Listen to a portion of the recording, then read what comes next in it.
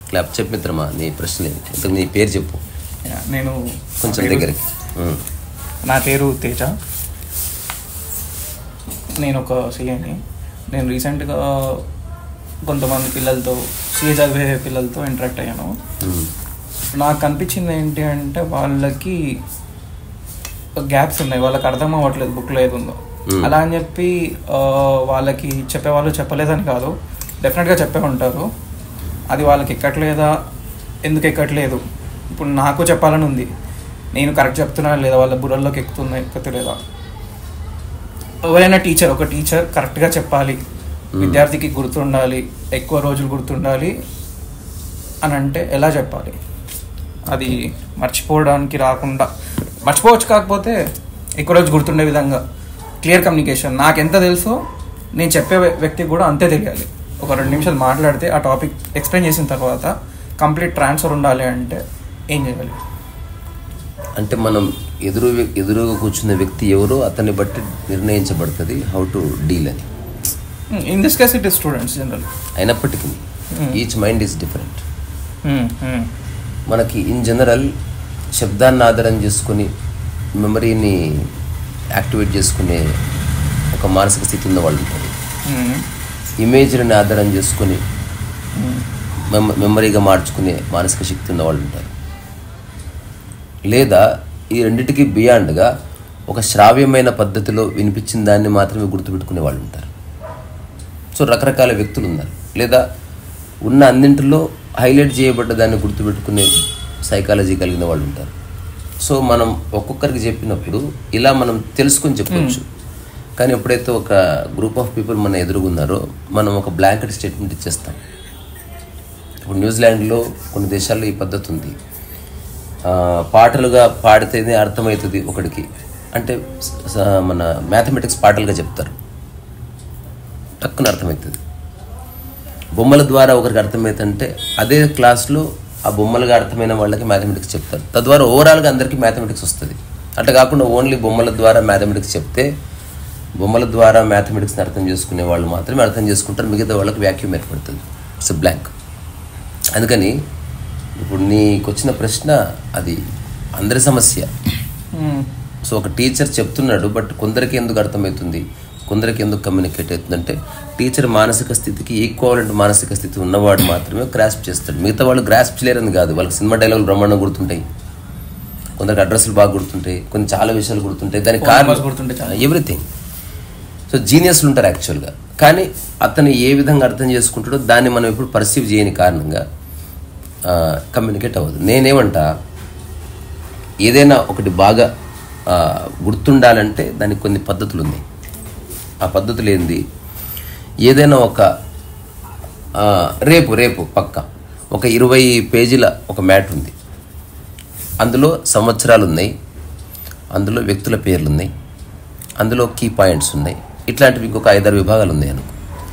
వీటన్నిటిని ఆధారం చేసుకుని ఒక్క ఏ త్రీ సైజ్ షీట్లో వాటిని రాసి గోడ కతికేయగలగాలి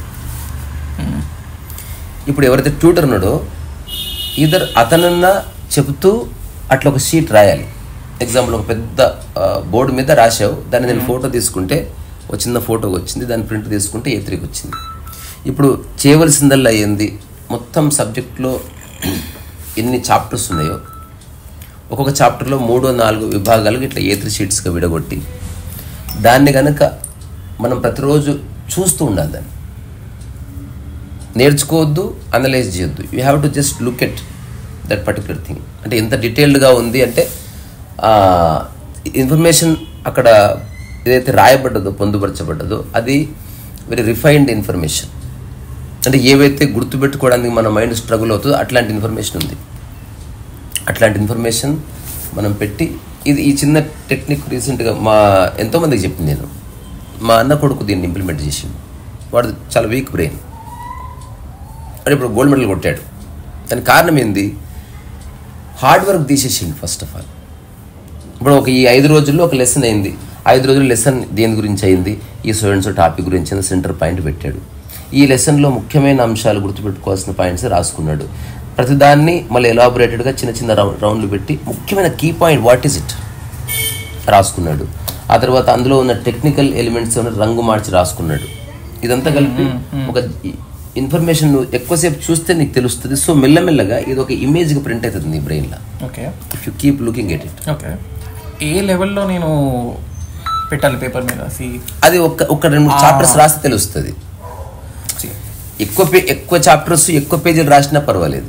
మేక్ ష్యూర్ అది పుస్తకం లాగా ఉండకూడదు. ఇమేజ్ లాగా ఉండాలి. ఒక పెయింటింగ్ నేను నీకు ఒక చిన్న నువ్వు దగ్గరకు షూట్ చేసుకోవాలి అది. ఇప్పుడు నేను హైదరాబాద్ అనే అంశం గురించి నేను తెలుసుకోవాలనుకుంటున్నాను. ఇప్పుడు ఇదంతా పేజ్. సో దీనికి రెండు మూడు పద్ధతులు ఉన్నాయి. హైదరాబాద్ని సెంటర్ రైట్లా. సో దీంట్లో కొన్ని కేటగిరీస్ చేస్తే ఒక కేటగిరీ ఏంది? హైదరాబాద్ యొక్క విస్తీర్ణం. హైదరాబాద్ యొక్క కల్చర్. హైదరాబాద్ యొక్క ఇంపార్టెంట్ పాపులేషన్. ఇట్లా ఒక పది విభాగాలు చేసినావు ఇప్పుడు ఈ ఈ విభాగాల లోపల నువ్వు విస్తీర్ణానికి సంబంధించిన విషయాలే ఓన్లీ కీ పాయింట్స్ రాస్తున్నావు. కావాలంటే నువ్వు మళ్ళీ తర్వాత చదువుకుంటావు. ఫస్ట్ నీకు ఆ కీ పాయింట్ గుర్తుండాలి. అంటే మైండ్ యొక్క స్వభావం ఏంటంటే ఏదో ఒక దాన్ని పట్టుకుంటే తప్ప దాని చుట్టూ ఇన్ఫర్మేషన్ అది గ్యాదర్ చేసుకోలేదు. మైండ్కి అది వ్యాక్యూమ్లో పని చేయలేదు. ఫర్ ఎగ్జాంపుల్ నీ పేరు ఏం పేరు? అంటే పేరు కూర్చుంటే నా మనసులో పేరు చుట్టూ ఇన్ఫర్మేషన్ కూర్చుంటే నెట్వర్క్ లాగా. అంటే మన మన హోల్ బ్రెయిన్ యొక్క నిర్మాణమే ఆ విధంగా ఉంటుంది. ప్రకృతి యొక్క మూల నిర్మాణం అంటే ఒకటి పట్టుకొని దాని నుంచి ఇంకోటి పట్టుకొని అక్కడి నుంచి ఇంకోటి ముందుకు వెళ్తుంది ఇది ఊసిపోయింది అనుకో మొత్తం ఊసిపోతుంది. ఆల్మోస్ట్ అన్నట్లనే ఉన్నాయి. అంటే ఎవ్రీ మెటీరియల్ ఎవరి ఎవరి. ఇప్పుడు అంతెందుకు? నువ్వు ఇద ఇప్పుడు ఇట్లా కనుక నువ్వు ఇట్లా రాసుకోవడానికి వన్ డే పట్టొచ్చు. రైట్ ఇన్ఫర్మేషన్ చెయ్యి. ఇంకా నువ్వు చేసుకున్న తర్వాత మొబైల్లో పెట్టుకుంటే actually zoom in zoom out అయితే ప్రాబ్లం ఎక్కడ వస్తుందంటే దిస్ లైక్ జనరల్ ఇన్ఫర్మేషన్లో బాగుంటుంది. కాకపోతే ప్రొఫెషనల్గా కొన్ని వర్డ్స్ ఉంటాయి. ఆ వర్డ్ని నేను రాస్తాను ఇక్కడ. కాకపోతే అది విద్యార్థికి తెలియదు స్టూడెంట్కి తెలియదు ఆ వర్డ్ అట్లాంటి కొన్ని కఠినమైన వర్డ్స్ ఉంటాయి. అప్పుడు బ్రేక్ డౌన్ చేయాలి. చెయ్యాలి. అంటే ఏ- చేస్తే గుర్తుంటుంది. ఇక్కడ మనం ఈ ఒక్క పద్ధతిలో చేయవలసింది దీన్ని నేర్చుకోవద్దు బట్టి పట్టద్దు. దీన్ని జస్ట్ గోడకుంది. ఎవ్రీడే టీ తాగినప్పుడు ఎవ్రీడే భోజనం చేసినప్పుడు ఎవ్రీడే షూలు వేసి కట్టుకుంటున్నప్పుడు స్నానం రాగానే బట్టలు వేసుకుంటున్నప్పుడు you just have to look at it don't process the information first అది నీ ఇమేజ్లో ఫిక్స్ అయింది అనుకో అక్కడి నుంచి నేను ప్రశ్న అడుగుతాను నేను బికాజ్ నా మైండ్లో ఒక ఒక ఒకటి వచ్చి కూర్చుంది. అక్కడి నుంచి ఇన్ఫర్మేషన్ తీసుకుంటే మైండ్ మీద కూర్చుంటుంది. సో ఒక వ్యాక్యూమ్లో మైండ్ పనిచేయలేదు నువ్వు ఒక ఒక ఒక డాట్ పెట్టిన తర్వాత ఆ డాట్కి ఇన్ఫర్మేషన్ కూర్చుంటే తప్ప ఏది లేకుండా నీ ఇన్ఫర్మేషన్ ఎంత ఫ్లోట్ చేసినా అందుకే నాకు అర్థమవుతలేదు అంటారు పిల్లలు. అట్లా కాకుండా ఫస్ట్ ఒక్కదాన్ని అర్థం చేసి నువ్వు ఏది అర్థం చేసుకోకరా ఈ ఒక్కటి గుర్తుపెట్టుకో చాలు. సో ఇప్పుడు ఒక డాట్ పడ్డది. అప్పుడు దానికి సంబంధించిన రిలవెంట్ ఇన్ఫర్మేషన్ నువ్వు దానికి చేరుస్తూ పోవచ్చు.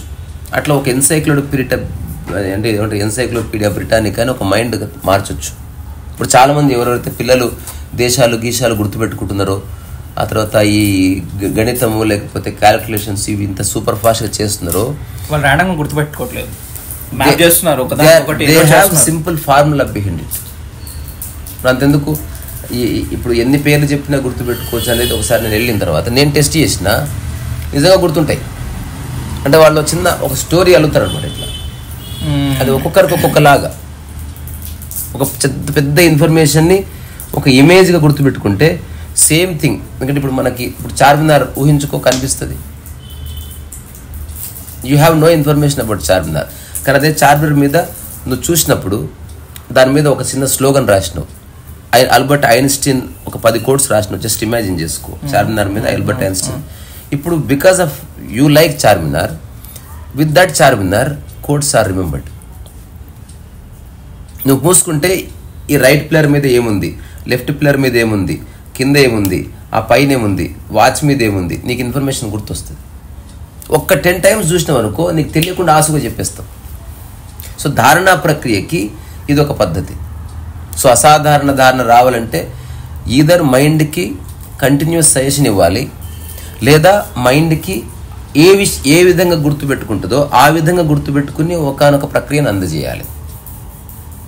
ఇప్పుడు ఇంకోటి ఇప్పుడు చాలామంది ఇప్పుడు గరికపాటి నరసింహారావు గారు లేకపోతే చాగంటి కోటేశ్వరరావు గారు వివేకానంద లేకపోతే లేనిది లేకపోతే ఓషో. చాలా పుస్తకాలు చదివారు. వాళ్ళకి ఎట్లా గుర్తుంది ఇన్ఫర్మేషన్? ఇంకొక పద్ధతి ఏమిటి? ఇదేమో లైఫ్ లాంగ్ చేసేది. ఇదేమో ఒక కాంపిటేటివ్ స్పిరిట్ కోసం చేసేది. వాడు బేసికల్గా ఇదంతా చదవాల్సిన అవసరం లేదు మనకు. Hmm.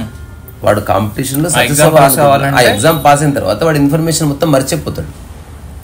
కొందరు ఏం చేస్తున్నారు? జీవితానికి ఇన్ఫర్మేషన్ ఒక లింక్ పెట్టారు. ఒక పండితుడు for example he he has to remember the information ఇప్పుడు అలాంటప్పుడు ఇప్పుడు అదే ఒక ట్యూటర్ అనుకో. You have to remember the information ఒక ట్యూటర్కి గుర్తుంటానికి కారణం ఎక్కువసార్లు మననం చేయడమే.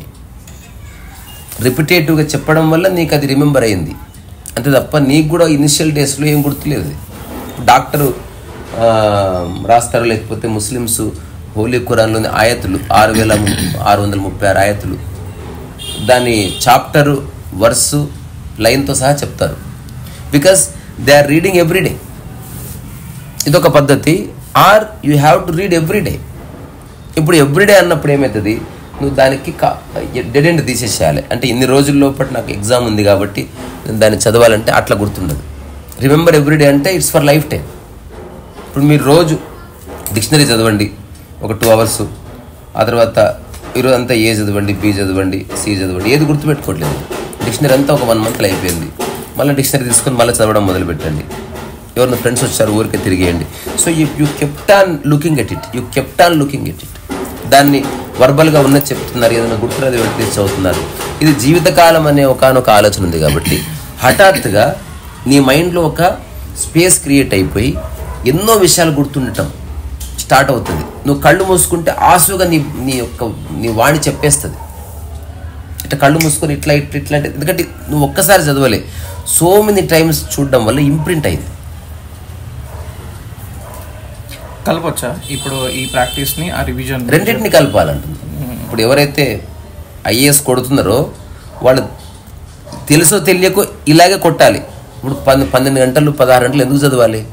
అంటే నీ మైండ్కి కంటిన్యూస్గా రీడింగ్ని అలవాటు చేయడం ఒక ముఖ్యమైన ప్రక్రియ.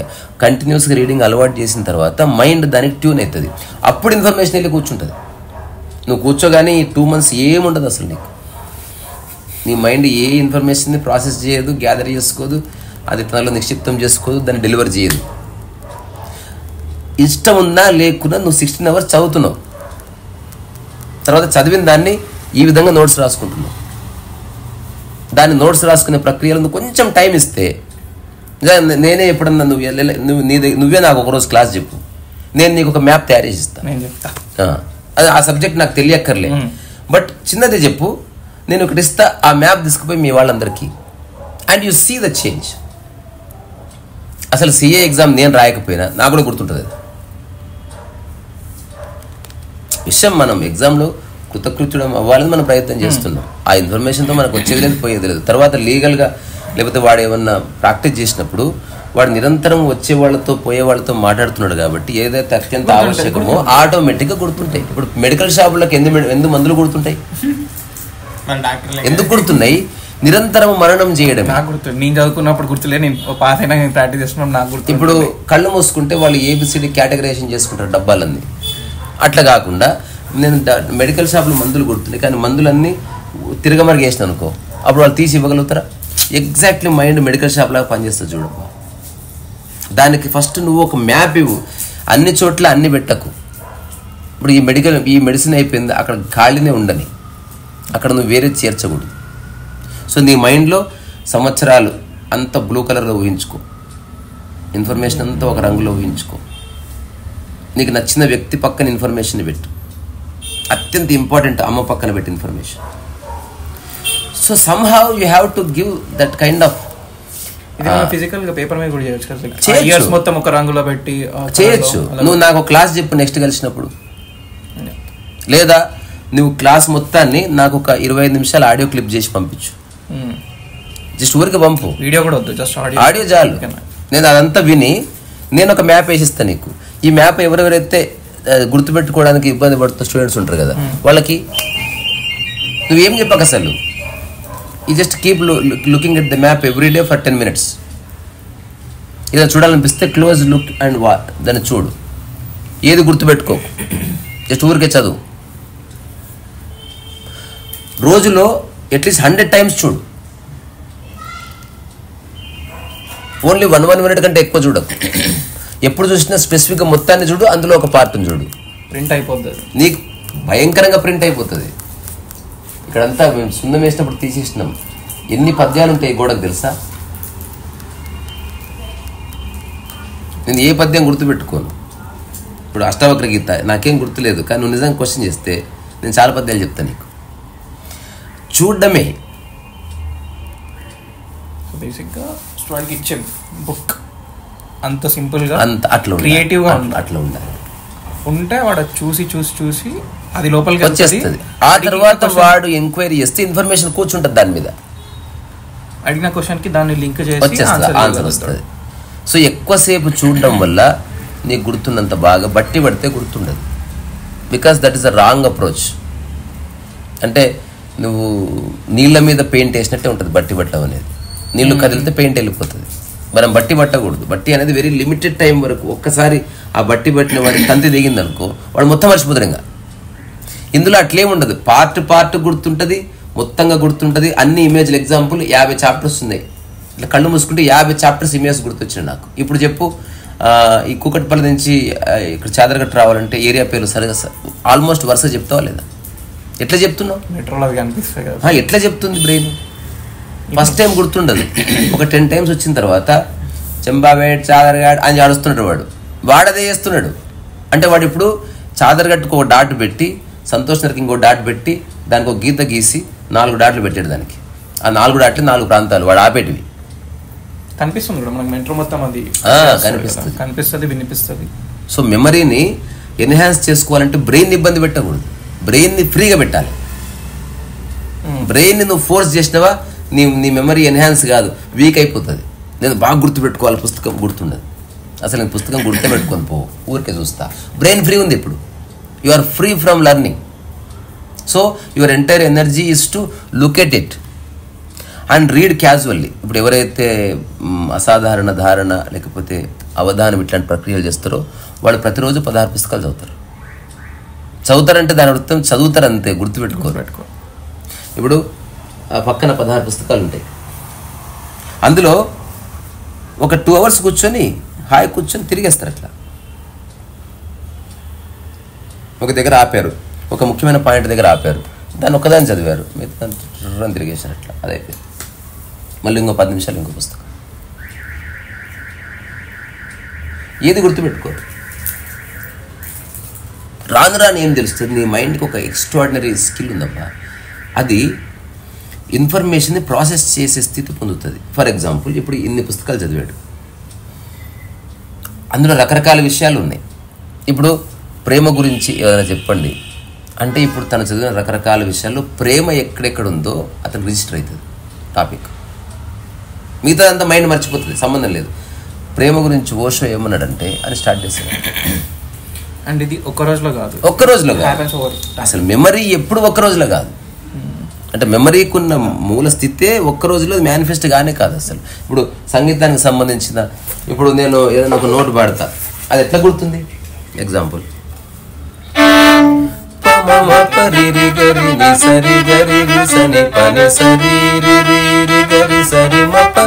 రిమప పని సరి రిమ పని మ పని సారి గరి రి గరి రి సని పప మరి గరి సని ఎందరో. ఇప్పుడు నాకు ఇది ఎట్లా గుర్తుంది?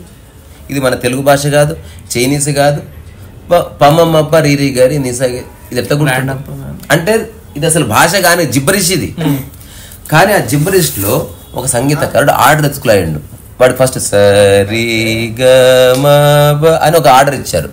ఆర్డర్ని ప్రాసెస్ ఆ, ప్రాసెస్ ఎట్లా చేస్తారు చూడు సేమ్ ఇదే మెమరీలో అప్లై చేస్తే ఫస్ట్ ఒక త్రీ ఫోర్ మంత్స్ దమాకరా ఉంటుంది. తర్వాత నీకు ఇప్పుడు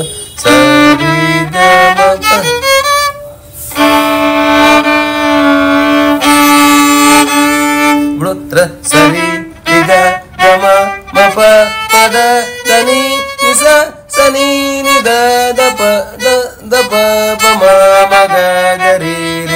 రెండు రెండు అయిపోయినాయా? సరిగా గమ ప పద పదని దని మూడు మూడు అయిపోయినా. సరిగమ రిగమ ప గమ పద మపదని పదని ఇప్పుడు ఐదు వేసుకో ఆరు వేసుకో ఏడు వేసుకో ఇప్పుడు ఉల్టా పల్టా. సరి ర రి రి గమ గ గమ పమ న. ఇట్లా అయిపోయిందా? సో ఇప్పుడు ఇనిషియల్గా నీకంతా పిచ్చి పిచ్చిగా ఉంటుంది. కానీ మొత్తం మ్యాథమెటిక్సే ఉంది. My mind understands mathematics very well mind understand logic very well mind understand instructions very well mind understand order very well create ఒక ఫంక్షనల్ ఆర్డర్నెస్ మైండ్ తీసుకొని రావాలి. It may take little time కానీ నిజంగా కాంపిటీషన్లో కొట్టాలనుకునే వాడికి ఐదు నెలలు వేసినట్టు అనిపిస్తుంది ఇప్పుడు నేను చెప్పిన దాంట్లో. కానీ తర్వాత వాడి దమ్మాకు మామూలుగా పనిచేయదు మెల్లగా జీనియస్ ఎంటర్ అవుతాడు బికాస్ వాడికి ఫౌండేషన్ సెట్ అయిపోయింది. వాడి మై- మైండ్ ప్రిపేర్ అయింది. బ్రెయిన్ అనేది స్ట్రెస్ అవ్వట్లేదు. వాడు సరదాగా చూస్తున్నాడు. చూస్తున్న దాన్ని వాడు ప్రాసెస్ చేసుకుంటున్నాడు. కేటగరైజ్ చేసి పెడుతున్నాడు. దేనికి అది? వాడు ఏ టాపిక్ అంటే ఆ టాపిక్ చెప్పేస్తున్నాడు. వాడు మెల్లగా మాట్లాడుతున్నాడు చదువుతున్నాడు వింటున్నాడు ప్రాసెస్ చేస్తున్నాడు. ఏకకాలంలో చాలా రాను రాను రాను చాలా వేగంగా జరిగిపోతుంది. ఇప్పుడు రామమూర్తి అని ఉంటారు. ఆయన పేరు ఆయన మైసూర్ రా రాజు ఆయన కేరళ రాజు. ప్రిన్స్ రామవర్మ. విన్నారు మ్యూజిషియన్ పాడతాడు. ఆయన బేసిక్గా కింగ్ ట్రావెన్ కోర్ సంస్థ కింగ్ అతను. ఇప్పుడు రాజా రవివర్మ ఇట్లాంటి వాళ్ళందరూ. అతను అవుట్ ఆఫ్ క్యూరియాసిటీ సంగీతం నేర్చుకున్నాడు. ఆయన పెద్ద రాజు కాబట్టి బాలమురళీ కృష్ణ లాంటి వాళ్ళు ఆయన ఆతిథ్యం తీసుకొని చక్కగా వాసి మంచిగా వాళ్ళ అతను సంగీతం నేర్పించారు.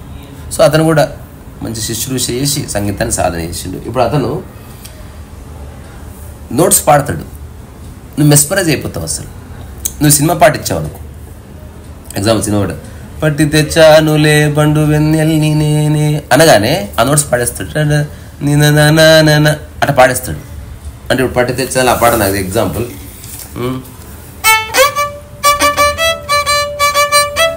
ఇప్పుడు నాకు వాయిస్తే తెలుస్తుంది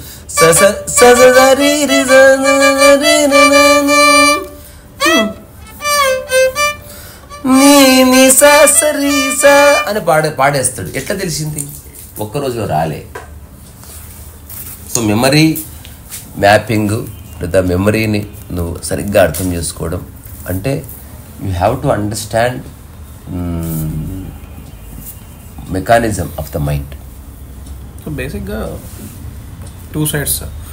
Tutor side student side. Tutor side it is how creatively vital ఇంకా ఇప్పుడు ఇందులో ట్యూటర్ సెకండరీ ఇంకా. నేను చెప్తాను కదా నువ్వు నాకు ఆడియో పంపించు. నవ్ యు ఆర్ సెకండరీ కొన్ని మరీ క్రిటికల్ అంశాలు నువ్వు చెప్తే అది వేరే ఒప్పుకుంటా స్టూడెంట్ ఇక్కడ ఉన్నాడా లేదా తెలియదు కదా మనకి. ఎనీ స్టూడెంట్కి ఇది ఇంట్రడ్యూస్ చేయొచ్చు. అదే ఒకవేళ. నాకేంటి అంటే ఇట్స్ నాట్ నేను ఒక్కొక్కరిని కూర్చొని పెట్టుకొని చెప్పుకోలేదు నేను ఐ కీవ్ ఇట్ నేను ఒకవేళ యూట్యూబ్లో పెడతానేమో. పెట్టినప్పుడు నేను ఈ మ్యాప్ పెట్టేసి దీన్ని నేను ఎక్స్ప్లెయిన్. చేసి వదిలేస్తా. వదిలేస్తా. ఏ లెవెల్లో చెప్పాలంటే ఇది ఇంత క్రియేటివ్గా ఉండాలి. నేను ఈ ప్రతి ఒక్క దాన్ని ఎక్స్ప్లెయిన్ చేస్తూ ఉంటాను అదృష్టవశాత్తు మనకు టెక్నాలజీ వచ్చిందబ్బా. నువ్వు ఇన్ఫర్మేషన్ ఇప్పుడు ఇంత చిన్న ఏరియాలో నేను ఒక మూడు లైన్ల ఇన్ఫర్మేషన్ పెట్టాను ఇట్లా. కనిపిస్తలేదు. కానీ if you zoom in you can actually see that దీని టైటిల్ పెద్ద ఉంది ఇక్కడ. ఈ తర్వాత చదువు ఫస్ట్ టైటిల్ గుర్తుంచుకో. ఫస్ట్ బ్రాడర్ థింగ్స్ని గుర్తుపెట్టుకో. Next mind goes going to detailings మళ్ళీ డీటెయిల్స్లోకి వెళ్ళిన తర్వాత ప్రతి పదం డీటెయిల్లోకి వెళ్తుంది మైండ్ మైండ్కి చాలా శక్తి ఉంది. ఎట్లయితే మనం ఒక పెద్ద ఇమేజ్ జూమ్ చేసినాం ముఖం కనిపించింది జూమ్ చేస్తే కన్ను కనిపించింది జూమ్ చేస్తే కన్ను కూడా కనిపించింది జూమ్ చేస్తే కన్ను లోపల బాగా కనిపించింది. పద్ధతి ప్రకారం వెళితే మేము మైండ్ చాలా బాగా పనిచేస్తుంది. ఎవరిదైనా. ఎవరిదైనా. ఫస్ట్ వాడికి పద్ధతిని అర్థం నువ్వు అన్నీ అర్థం చేసుకోక బెట. ఈరోజు ఈ ఐదు ఆరు విషయాలు గుర్తుపెట్టుకో. నువ్వు ఇట్లా చెప్పు. ఇది చాదరగట్టు ఇది హ్యాబిట్స్ చాదరగట్టు నుంచి హ్యాబిట్స్కి మొత్తం ఎన్ని స్టాప్లు ఆరు స్టాపులు ఉన్నాయి. అట్లనే ఈ టాపిక్ ఇక్కడ మొదలైంది ఇక్కడ ఎండ్ అయింది. ఈ ఆరు పదాలు గుర్తుపెట్టుకో మిగతా రేపు చెప్పుకుందాం కానీ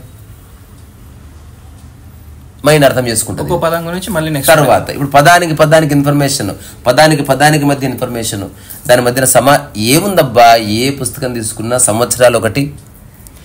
ఒక లీగాలిటీ అయితే కనుక కేసులు ఎవరెవరి మధ్యన ఏ కేసులు వచ్చింది ఏ సంవత్సరం వచ్చింది government of India union of India ఆ తర్వాత స్టేట్ ఆఫ్ మహారాష్ట్ర జగన్ లాలు ఈ కేసు ఆ తర్వాత ఇంతవరకు ఎప్పుడు రాని కాంట్రవర్సీ వర్డిక్స్ ఏమొచ్చినాయి అట్లాంటివి ఏమైనా ఉంటే కోర్ట్ చేయాల్సిన. Section numbers. సో అత్యంత ముఖ్యమైన సెక్షన్ నెంబర్స్ ఇప్పుడు ఇన్ని కేసులు జరుగుతున్నాయి. ఇన్ని కేసుల్లో eighty percent of the cases are similar exceptional cases కొన్ని ఉన్నాయి. అవేమిటి ఇవేమిటి నువ్వు జస్ట్ నేను చెప్తున్నా కదా ఇల్లు అనేది గ్రంథాలయం ఎట్లా కావాలి? పుస్తకాలు నిండకూడదు. ఇప్పుడు ఈ దీని నిండా కొంత ఇన్ఫర్మేషన్ ఉంది.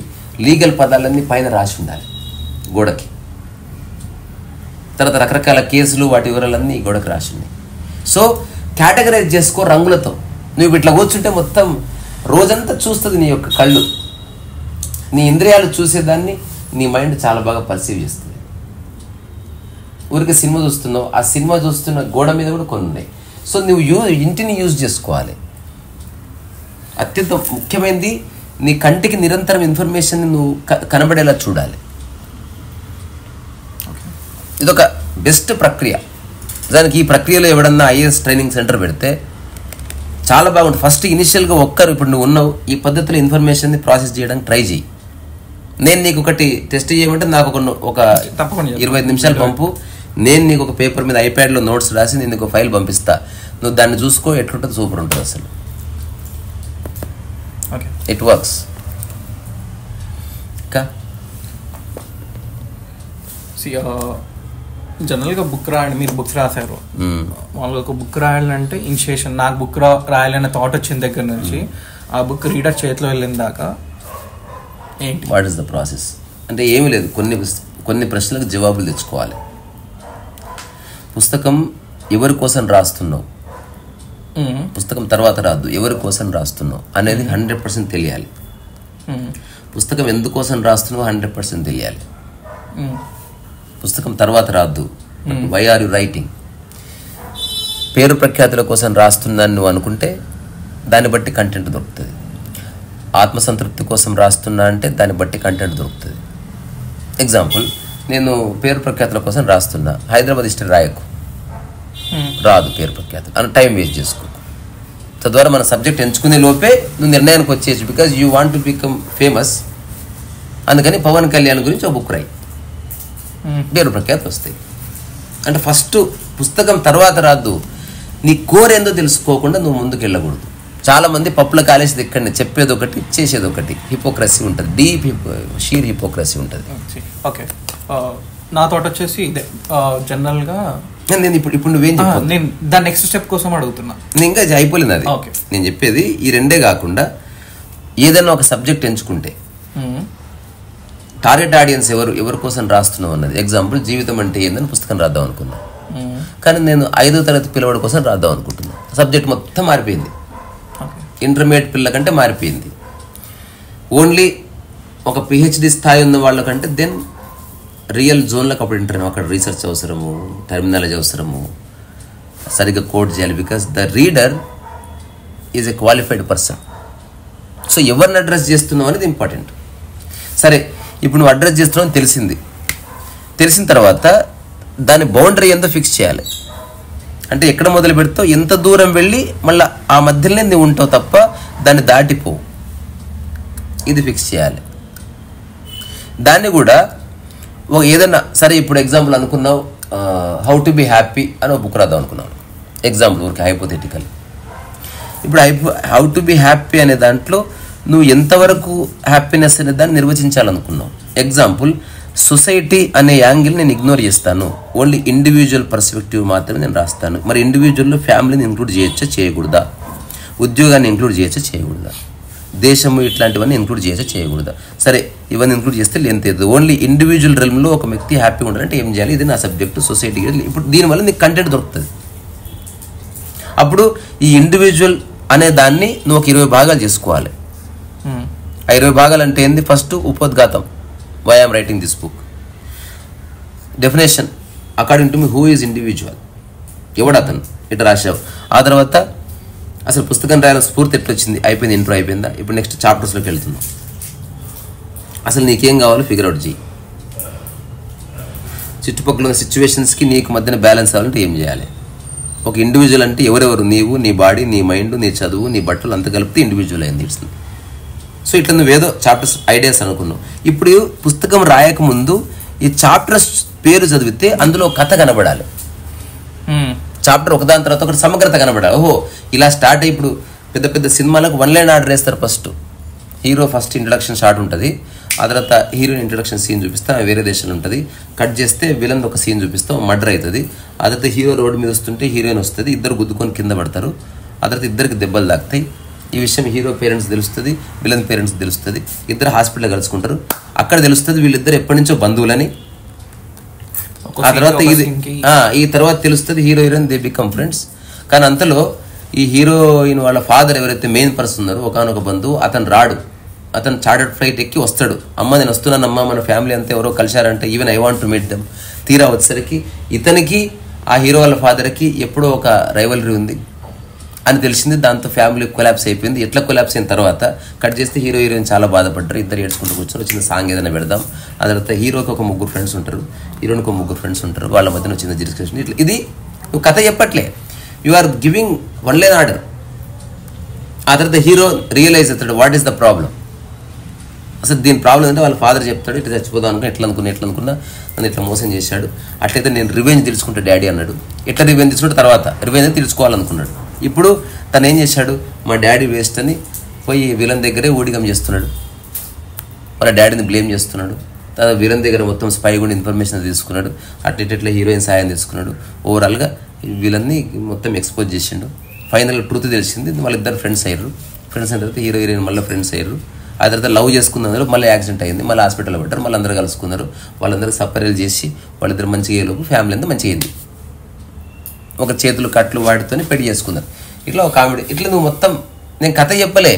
కథా గమనం మాత్రమే చెప్పింది. One line order same thing dialogues వస్తాయి. ఇప్పుడు ఒక్కొక్క దాని డీటెయిల్ ఇప్పుడు ఓపెన్ ఇదంతా ఇది ఎక్సలెంట్ ఉంది ఆర్డర్ చాలా బాగుంది. మరి ఓపెనింగ్ స్టార్ట్ ఏంటంటే అప్పుడు నేను ఓపెనింగ్ గురించి చెప్తా.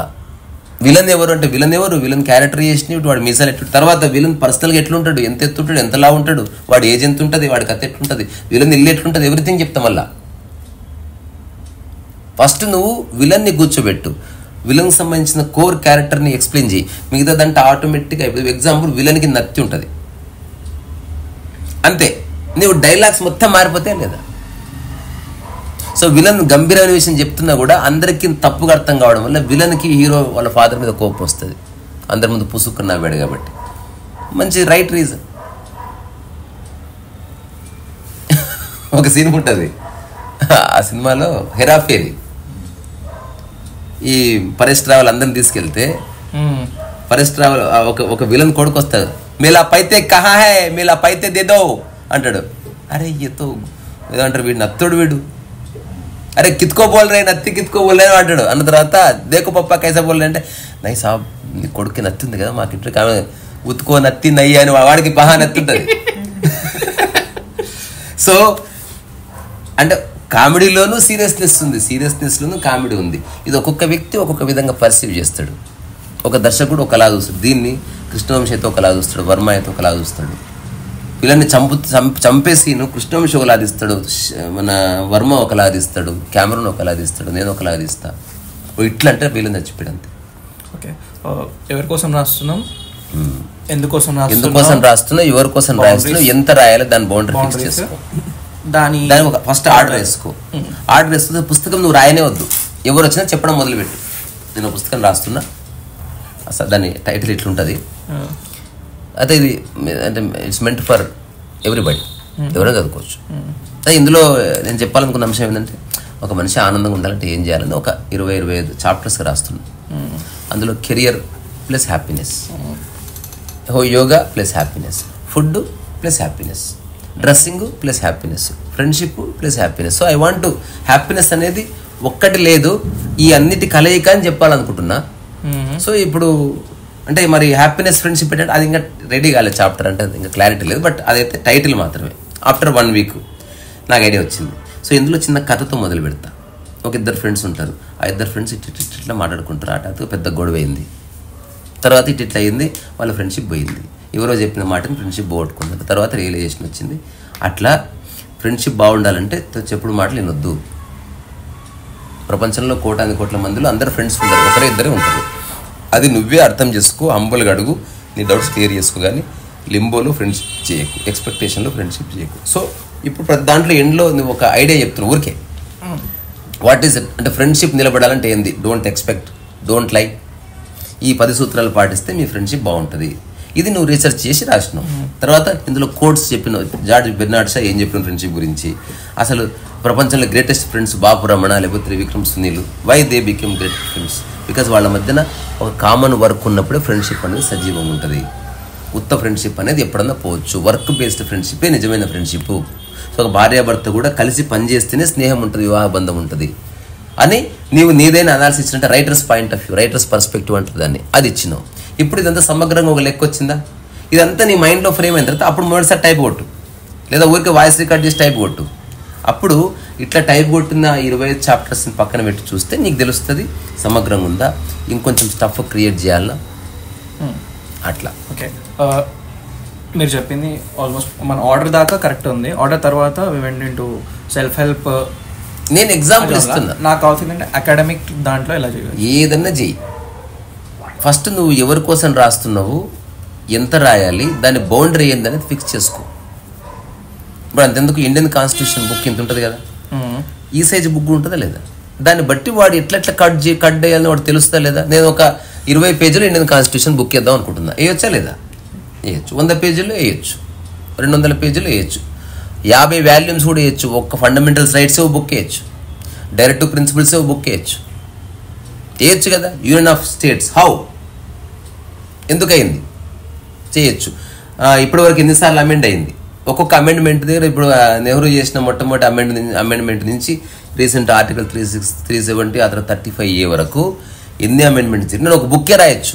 ఇప్పుడు పెద్ద పెద్ద లాయర్స్ దగ్గర అన్ని పుస్తకాలు ఉంటాయి కదా it's bifurcation of subject matter అంతే కదా. ఈసారి ఒక బుక్ సరిపోతుంది. కానీ when you want to discuss legality legally ప్రొఫౌండ్గా సౌండ్గా డిస్కస్ చేయాలంటే ప్రతిదాని మీద ఇప్పుడు ఆర్టికల్ త్రీ సెవెంటీ అనే అంశం మీద చర్చిస్తుంటే ఇప్పుడు ఒక లైబ్రరీ దగ్గర ఆర్టికల్ త్రీ సెవెంటీకి సంబంధించిన పుస్తకాలే పది ఉన్నాయి అప్పుడు నీకు ఇన్ఫర్మేషన్ దొరుకుతుంది. ఎవ్రీథింగ్ ఉంది అవైలబుల్ సో బేసిక్గా అకాడమిక్ ఆర్ ఒక ఎగ్జామ్ కోసం బుక్ రాస్తున్నప్పుడు ఆ ఎగ్జామ్లో ఏం అడుగుతాడు ఎంతవరకు అడుగుతాడు అన్న ఆ డెప్త్ వరకు రాస్తే సరిపోతుంది. సరిపోతుంది. అంతే. సో అది ఫస్ట్ నువ్వు సైకలాజికల్గా క్లారిటీ తెచ్చుకొని దాన్ని కొందరు ఎక్స్పర్ట్స్కి చెప్పాలి. అంటే దిస్ ఈజ్ మై వే అంటే ఊరికి మనం వ్యాక్యూమ్లో రాయొద్దు. ఇప్పుడు నేను ఏదన్నా సినిమా తీద్దాం అనుకుంటున్నా అప్పుడు వీడి కథ చెప్తా నేను. నేను వాడికి చెప్తలేను I'm listening my own story again దాంట్లో కొంత రిఫైన్మెంట్ వస్తుంది. ఒక రెండు నెలల క్రితం లేనిది హఠాత్తుగా కొత్త పాయింట్ వస్తుంది. బికాస్ పాత ఇన్ఫర్మేషన్ స్థిరపడ్డది. కొత్త ఇన్ఫర్మేషన్ యాడ్ అవుతుంది. దానికి గోడలు ఫిట్ అయితే మనం దానికి ఫ్రేమ్ ఫిక్స్ చేయొచ్చు. ఫ్రేమ్ ఫిక్స్ అయితే దానికి దండ ఫిక్స్ చేయొచ్చు. దండ ఫిక్స్ అయితే ఇంకేదైనా ఫిక్స్ చేయొచ్చు. నేను ఇంకా గోడలు కట్టలే కానీ ఫ్రేమ్ ఎక్కడ పెట్టాలనుకుంటే అది కుదరదు. ఫిక్స్ చేసుకుంటూ పోవాలి. స్కెల్టన్ ఫిక్స్ చేయాలి ఫస్ట్ టైటిల్ ఫిక్స్ చేసుకోవాలి. ఊరికే వర్కింగ్ టైటిల్ అయినా పర్వాలేదు. నేను దాని పారామీటర్ ఇదబ్బా. దిస్ ఈజ్ మై ఐడియా అంటే ఇలా ఈ- రేంజ్లో రాస్తాను. తర్వాత నా పుస్తకం ఒక రెండు వందల యాభై పేజీలు అట్లా ఉండొచ్చు.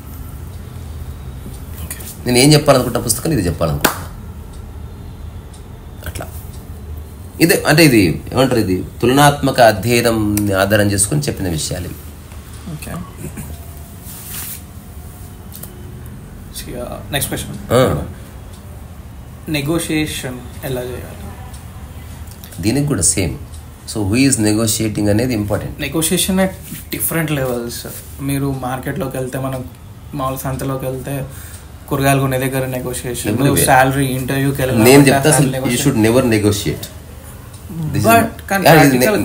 ఇది నేను నా జీవితంలో నెగోషియేట్ చేయాలి ఇప్పటి వరకు అండర్స్టాండ్ కాకపోతే చెప్తున్నా అంటే నేను అండర్స్టాండ్ అర్థం చేసుకునేది అంటే అసలు నెవర్ నెగోషియేట్ ఇది నేను పాటిస్తున్నది. ఐ నెవర్ నెగోషియేట్ ఒకటి నెగోషియేట్ ఎలా చేయాలంటే ఇప్పుడు ఎవడైతే నువ్వు నెగోషియేట్ చేయాలనుకుంటున్నావు ఎదురు వ్యక్తిని నెగోషియేట్ చేయాలంటే ఫస్ట్ అతని మైండ్ ఏమిటో నీకు తెలియాల్సిందే. లేకుండా నువ్వు నెగోషియేట్ చేస్తే ఎప్పుడు వర్కౌట్ అంతెందుకు? మనకు నెగోషియేషన్ అనే ప్రక్రియ చూడాలంటే సినిమాలో చూడొచ్చు. ఏదైనా ట్రైన్ హైజాక్ అయింది విమానం హైజాక్ అయింది అప్పుడు అందరికి ఇంగ్లీష్ వచ్చిందా? నెగోషియేటర్ని పిలుచుకొస్తారు. వాడికి ఇంగ్లీష్ వచ్చు నెగోషియేటర్కి ఇంగ్లీష్ వచ్చు. నెగోషియేటర్ చేసింది ఏంటంటే హీ బైస్ ద టైం వాడు విషయంలోకి డైరెక్ట్గా రాడు. ఏ మా విమానాన్ని నువ్వు కూల్చితే పై వల కొడుతుంది పిరవల కొడతాడు అంటే అయిపోయా ఇప్పుడే వదులుతా అంటాడు వాడు. నాకు నాకు అర్థమైంది. నువ్వు ఇలాంటి ఒక మానసిక స్థితిలో నువ్వు ఒక విమానాన్ని హైజాక్ చేసినావు. I understand. I'm empathising with you. And government ఇట్లా నియమించింది సార్. మళ్ళీ ఒక పది నిమిషాల తర్వాత ఫోన్ చేస్తే ప్రశాంతంగా కూల్గా ఉండండి బికాస్ మా ఇంపార్టెంట్ సేఫ్టీ. నీకు ఇంపార్టెంట్ నీ హక్కులు నువ్వేమవుతున్నా తీరవలసిందే సార్ అసలు? నీకు రీజన్ లేకుండా చేస్తావా నువ్వు? చేయవు కదా. సో నేను పది నిమిషాల తర్వాత వస్తా. నువ్వు నాకు కూల్గా చెప్తే నేను మా వాళ్ళకి కూల్గా చెప్తా. లెట్స్ టాక్ ఈ టాకింగ్లో ఇరవై నిమిషాలు ఉంచితే ఎట్స్ ట్రాకింగ్ చేస్తారు. ఒకడు ఒకడు ఆ పని చేస్తుంటాడు. ఒక ఇంటర్సెప్టర్ ఉంటాడు. వాడు ఎదుటి వ్యక్తి వాయిస్ ఎక్కడుందా? మ్యాచ్ అవుతుందా? ఇంతవరకు ఎప్పుడన్నా వాడి మన మన మన కాల్ డేటాలో వాడి ఉందా రకరకాల వ్యక్తులు రకరకాల పనులు చేస్తారు. సో నెగోషియేటర్ బేసికల్గా ఒక ఎదుటి వ్యక్తి మానసిక స్థితిని అర్థం చేసుకొని కనుక నెగోషియేట్ చేస్తే నువ్వు ఎవరైనా పడేయచ్చు. స్టెప్స్ ఏంటి? ఇప్పుడు ఫస్ట్ థింగ్ చెప్పండి. అర్థం చేసుకోకుండా చేసుకోవడం first thing. Second thing buying time I have to buy రెండోది సాటిస్ఫై దేర్ ఈగో అంటే నెగోషియేషన్కి మెయిన్ సూత్రం. నువ్వు ఈగో సాటిస్ఫై అబ్బా అసలు మీరు అసలు ఎంత సూపర్ సార్ ఇప్పుడు ఆ వర్మ చెప్తాడు కదా రెహమాన్ అందరికి మ్యూజిక్ చేయడం నాకు తొందర చేసాడు ఎందుకంటే వెళ్ళి ఇస్లాం ఎంత గొప్పదనం గురించి వాళ్ళకి ఇష్టమైన మాట్లాడితే అతనికి నచ్చి చేస్తాడు. నెక్స్ట్ ఈగో సాటిస్ఫై ఓకే అంతే జస్ట్ మనకు కావాల్సిన పాయింట్ ఎక్కడ ఎలా పెట్టడం? ఫస్ట్ వాడు నీ చేతిలోకి వస్తే తర్వాత నువ్వు ఏమన్నా చెప్పు? ఇప్పుడు ఒక అమ్మాయి బుగ్గ గిల్లాలి. డైరెక్ట్ గిల్లడితో కుదరదు.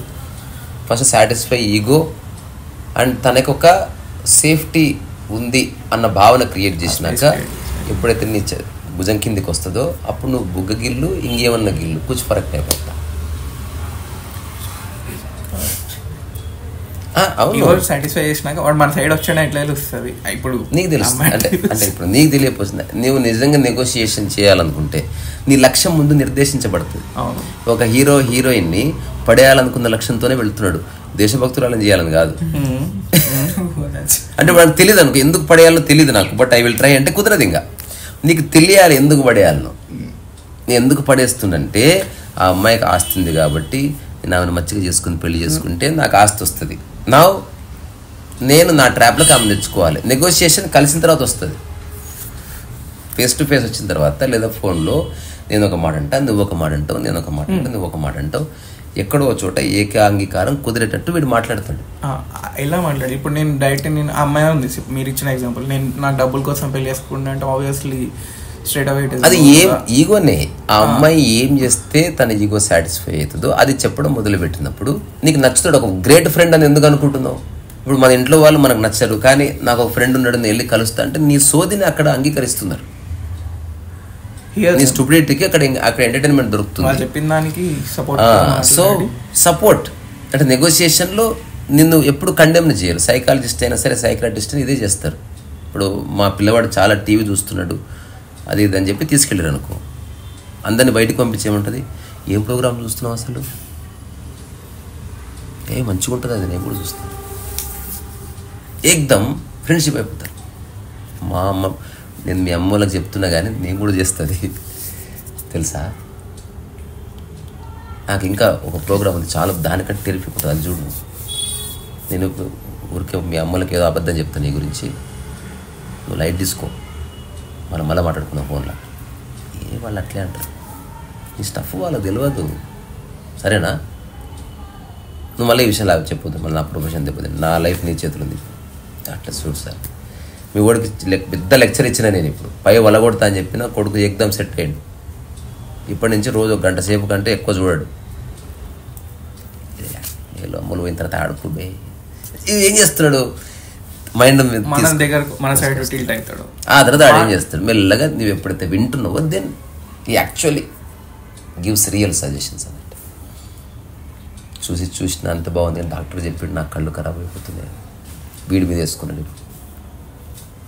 అంటే నాకు కూడా అయితే ఎవరికైనా అయితే అంటున్నారు. ప్రోగ్రామ్ అంత బాగుంటుంది? అమ్మ చూడ. మరి ఏం చేయాలి? దానికి ఒక టెక్నిక్ చెప్పిండు నాకు అది కూడా నీకు చెప్తా. అంటే ఎట్లా చెప్పి అదే అదే వర్కౌట్ అందరికీ అయితే అంటే కాకపోవచ్చు. పర్సన్ టు పర్సన్ మారిపోతుంది. అందుకే ఈ ప్రతి కేసు లాయర్ కొత్త ప్రతి సర్జరీ డాక్టర్ కొత్త. ప్రతి స్టూడెంట్ టీచర్ టీచర్ కొత్త. ఎందుకు? Each mind is different. అది ఇష్టపడ్డ వాళ్ళకి. మిగతా వాళ్ళు ఏమో మొక్కుబడికి ఉద్యోగం చేసి పక్క జరుగుతారు. నేను చెప్తున్నా నిజంగా ప్రొఫెషన్ ఇష్టపడేవాడు వాడు ఛాలెంజ్ తీసుకుంటాడు. తీసుకుని అక్కడి నుంచి వాడు ఎదుటి వ్యక్తిని అర్థం చేసుకునే వాడికి ఇరిటేషన్ ఉండదు ఫ్రస్ట్రేషన్ ఉండదు. He wants to understand the other mind other mind నీకు దొరికే దొరకాలంటే ఫస్ట్ మైండ్ అంటే ఏంటో నీకు తెలియాలి. అదర్వైజ్ ఇంపాసిబుల్ మనకి స్ట్రక్చర్ తెలియాలి మైండ్ది ఒక్కసారి నాకు రీక్యాప్ చెప్పరా? అంటే నెగోషియేషన్లో లైక్ నెగోషియేషన్లో మెయిన్లీ ఎవరిని నెగోషి ఎవరితో నెగోషియేట్ చేయాలనుకుంటున్నావో ఆ వ్యక్తి ఎవరో నీకు తెలియాలి. నెక్స్ట్ రెండోది అతని ఈగో ఏం అతను ఏ విషయానికి అతను నీతో స్నేహం చేస్తాడు లేదా నీ మాటకి పాజిటివ్ రెస్పాన్స్ ఇస్తాడు రిటాలియేట్ చేయకుండా కౌంటర్ చేయకుండా అన్నది తెలియాలంటే అతని ఛాయిస్ ఆఫ్ అందుకే రెక్కీ చేస్తారు. ఓకే ఓకే చిన్న బ్యాక్గ్రౌండ్ వర్క్ జరుగుతుంది. Who is that person next ఇప్పుడు అంతెందుకు ఇప్పుడు సిరివేంద్ర సీతారామ శాస్త్రి దగ్గరికి ఒక ఫ్రెండ్ ఆయన ఉన్నప్పుడు నేను వెళ్తున్నా ఏం అతను ఒక రైటర్ కావాలనుకుంటున్నాడు ఇండస్ట్రీలో అందరు పోతారు బాబు. అందరు ఫ్లవర్ బొకే ఇస్తారు ఇవన్నీ ఇస్తారు. నువ్వు అసలు ఏం తీసుకుపోకు? ఇది ఫస్ట్ స్టెప్ అంటే నువ్వేం తీసుకుపోలేదు నీ మీద దృష్టి వస్తుంది. వీడేవాడు షాల్వా కప్పలేదు కాళ్ళు మొక్కలేదు ఆ తర్వాత అందరూ రిలాక్స్ అయిపోయిన తర్వాత చర్చ వచ్చినప్పుడు అది సిరివేంద్ర సీతారామ శాస్త్రి గారు అంటే నా దృష్టిలో ఏమిటి అన్నప్పుడు అసలు ఆయన రాసిన కొన్ని పాటల్లో సాహిత్యం. దాంట్లో ఉన్న డెప్త్ నేను దాన్ని ఎంజాయ్ చేస్తాను ఇప్పుడు షాల్వా కప్పి నేను తప్పించుకోవడం నాకు ఇష్టం లేదు. ఆయన అంటే అవకాశం ఇస్తే I want to spend a day with him అని ఆయన రాసిన సాహిత్యంలోని కొన్ని స్టేట్మెంట్స్ నువ్వు చెప్పి దాన్ని నువ్వు అప్రిషియేట్ చేయాలి ఇది కదా నేను ఇట్లా రాయాలనుకుంటుంది దాని వల్ల నేను ఈ ఇన్స్పిరేషన్తో నేను ఒక కొన్ని కవితలు రాసిన. అని నువ్వు ఒక రెండు లైన్లు నింపి అప్పుడు రిజిస్టర్ అవుతుంది. అంటే సమత్వం అనేది వస్తుంది. ఓహో మిగతా వాళ్ళంతా అప్రిషియేట్ చేస్తున్న వీడు కవి.